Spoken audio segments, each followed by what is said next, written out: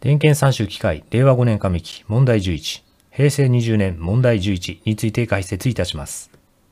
この問題は電動機を減速機を通して負荷に動力を伝えるとき負荷の回転速度、トルク、出力について求めようという問題になります。この箇所は歯車を表しています。ではその歯車を電動機側と負荷側でこのように表します。電動機は1分間で Nm 回、負荷側の歯車は1分間で NL 回。これらの回転速度で回転しているものとします。問題文に減速比が8と書いてあります。減速比が8とはどういう意味かというと、負荷側を1回転させるには電動機側を8回転させる必要があるという意味になります。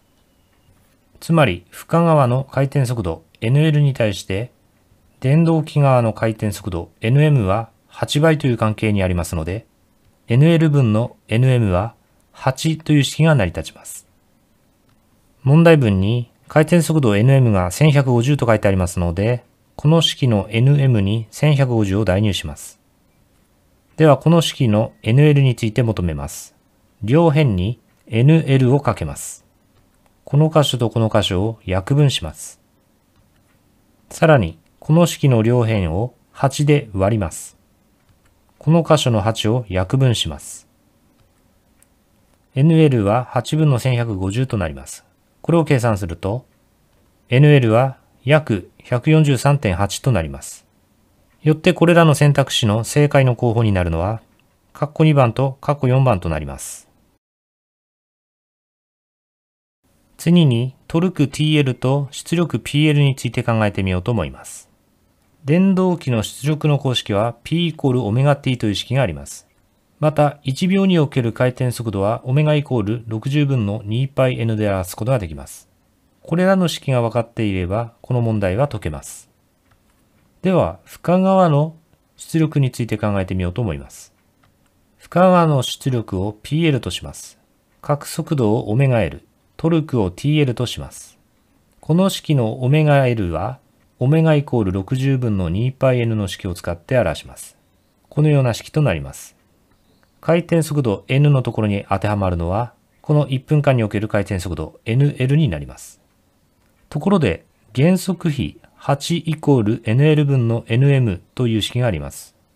この式を整理します。nl は8分の nm となります。それをこちらの NL のところに代入します。この NL には先ほど求めた143.8を代入してもいいんですが、この数値は8分の1150を計算した結果のおおよその数ですので、こちらの式を使った方がより正確なので、今回はこの式を使って変形させ、それをここに代入するものと考えます。そうすると PL の式は60分の 2π かける8分の nm かける TL となります。次に電動機側の出力について考えます。電動機の出力を PM とし、角速度を ωm、トルクを TM とします。角速度 ωm をこちらの ω イコール60分の 2πn の式を使って表すと、このような式となります。回転速度は nm 回毎分なので、ここに nm を入れてあります。問題文に電動機側の トルクが tm イコール100ニュートンメートルと書いてありますので、この tm を100とします。これが電動機の出力 PM にあたります。問題文に効率が0.95と書いてあります。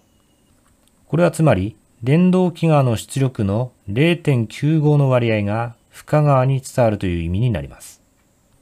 よって、電動機の出力 PM に0.95をかけた結果が負荷側の出力 PL になるという式が成り立ちます。